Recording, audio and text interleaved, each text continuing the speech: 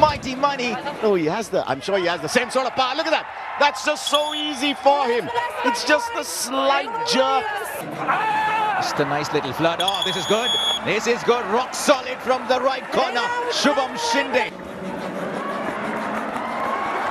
Look at that. He just spins. Bharat Hooda trapped in that maze. And who is it? Shubham Shinde once again. What a game. What a finish.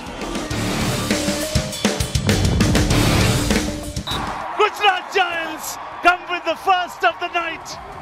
Why should you? It's all about passion. Off he goes. Yes, he goes. On the way through two. Rakesh is hunting for fun tonight. Now it's a similar sort of a timing left on the clock, and I think there'll be time for one more hit. They've got him now! Clean up back! And that is the third successive Super 10 for Sonu Jaglan.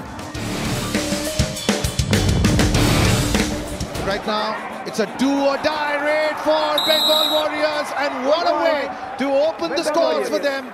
10 seconds left in the game.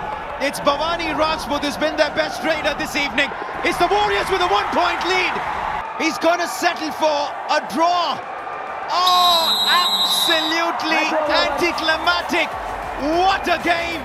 It's our first draw, our first tie of season 10.